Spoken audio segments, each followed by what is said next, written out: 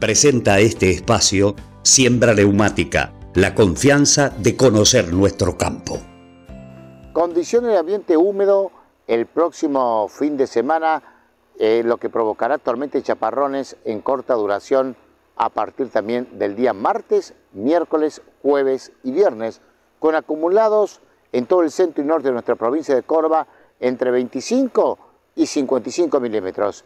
Algo de caída de granizo y tormentas de corta duración el día miércoles y jueves. A prepararse entonces de que se viene un ambiente húmedo e inestable a lo largo de los próximos días en la provincia de Córdoba. Mínimas entre 9 y 11 grados el día domingo y lunes, martes, miércoles y jueves entre 13 y 15 grados y máxima entre los 23 y los 25 grados centígrados. La neutralidad, la segunda quincena se verá reflejada contemporánea nuevamente antes de finalizar el mes de abril y comienzo del mes de mayo con milimetraje de 20 a 40 milímetros.